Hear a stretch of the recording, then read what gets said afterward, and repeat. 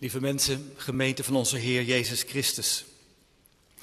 Voorafgaande aan de lezing stelde ik u die vraag. En ook mezelf. Waar raakt het verhaal van Jacob aan uw en jouw en mijn leven? Waar raakt dit verhaal ons verhaal? Is het misschien de ruzie thuis? Jacob heeft het verpest bij zijn broer Esau. Die is enorm kwaad en terecht.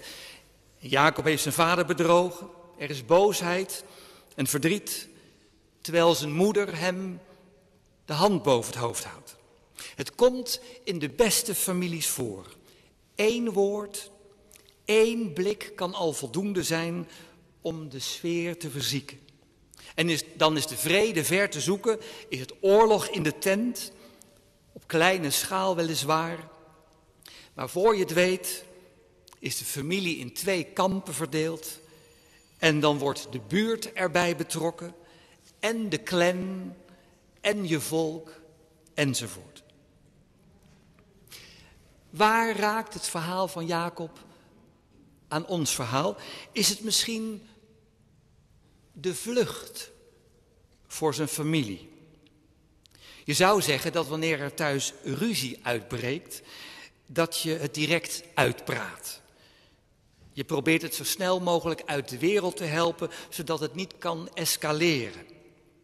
Immers, als dat gebeurt, ben je verder van huis en dan zie je elkaar jaren niet meer. En dan moet notabene Bert van Leeuwen er aan te pas komen met het familiediner om gebrouilleerde familieleden weer bij elkaar te brengen. Maar Jacob doet dat niet. Hij praat het niet uit, gaat de confrontatie niet aan. Hij vlucht uit angst, uit schaamte. Of misschien denkt hij wel, nou, misschien lost het probleem zich vanzelf op als ik maar zo ver mogelijk wegga. Waar raakt het verhaal van Jacob aan ons leven? Is het misschien het feit dat Jacob moederziel alleen door een bergachtig landschap trekt? Over de toppen en door de diepe dalen. Een mens die het alleen moet rooien. Een mens die op zichzelf is teruggeworpen.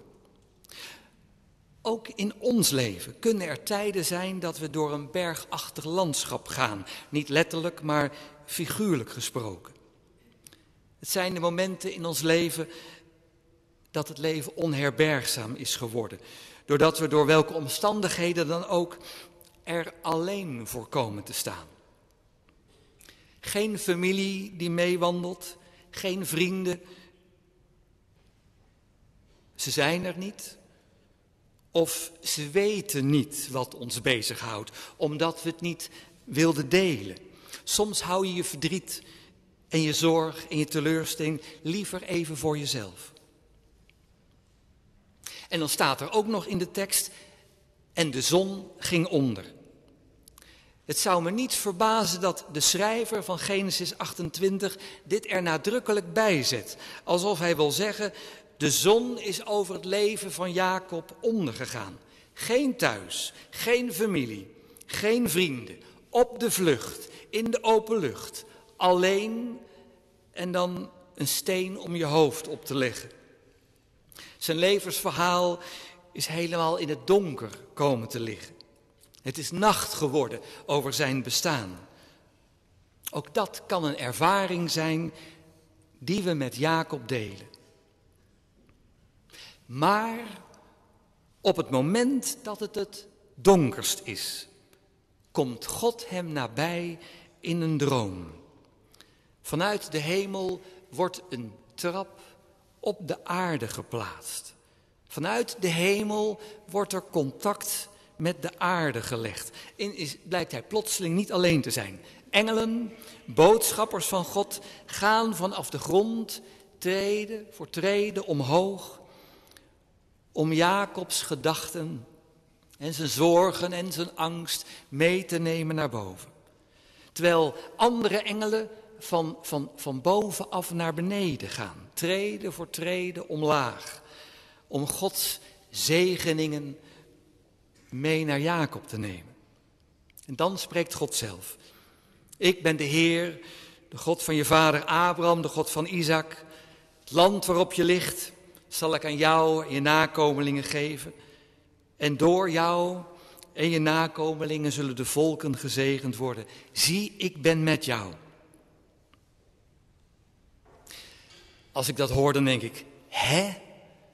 Moet God niet eerst een, een hartig woordje met Jacob spreken? Moet hij hem niet eerst even confronteren met de harde realiteit waarin hij door eigen schuld terecht is gekomen? Maar er klinken geen verwijten. Zoals, nou je hebt het er zelf naar gemaakt. Of wie zich brandt moet maar op de blaren zitten. Dat soort opmerkingen zouden wij ongetwijfeld gemaakt hebben. Maar God begint er niet over, in tegendeel. Hij belooft juist met Jacob mee te gaan. Om hem te zegenen, evenals zijn toekomstige kinderen, klein en achterkleinkinderen enzovoort. Waarom doet God dat? Toch niet omdat Jacob zo'n beste is, want dat is hij niet. Nee. God doet het omdat hij trouw is aan wat hij eens heeft beloofd aan Abraham en vervolgens aan Isaac.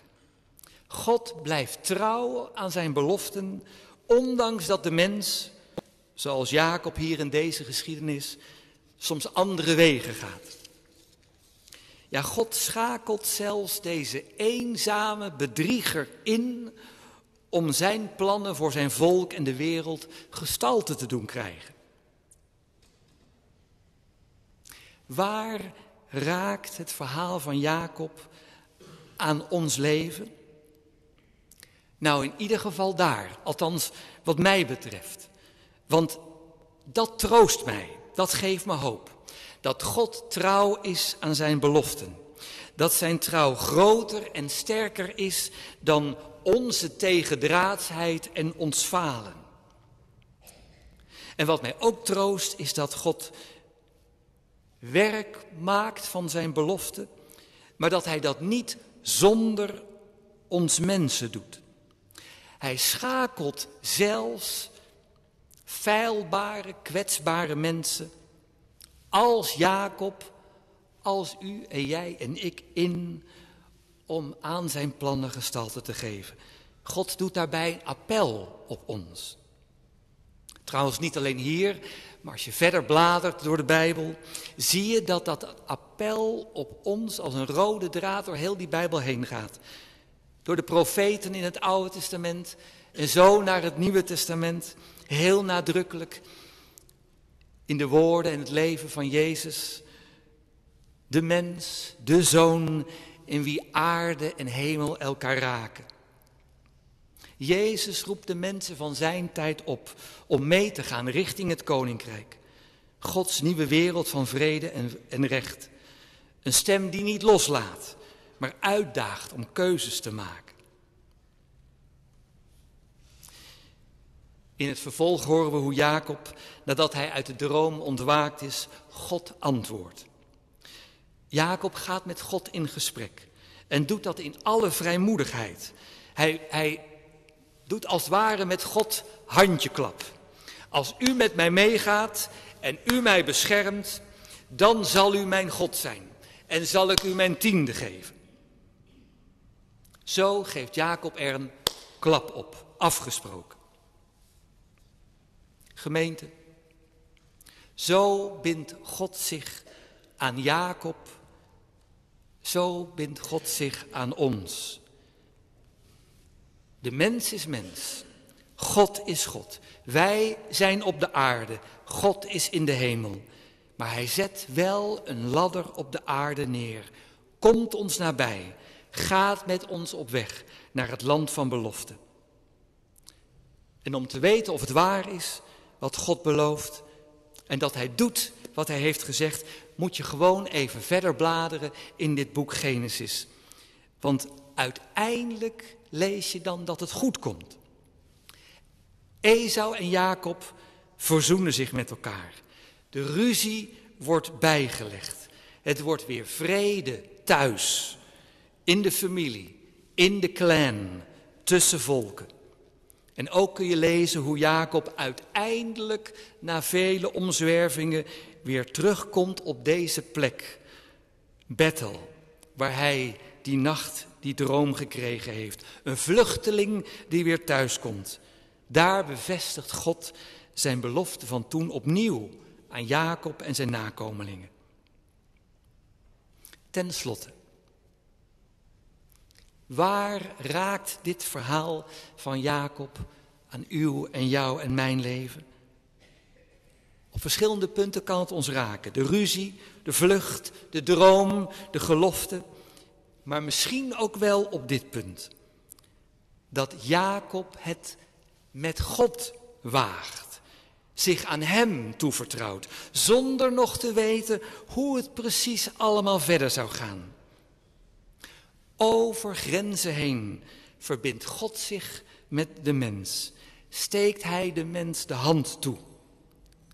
En Jacob, wij op onze beurt, mogen ons met Hem verbinden, over grenzen heen. En waar dat gebeurt, strekt de weg naar het beloofde land zich voor ons uit. Stap voor stap voor stap. Amen.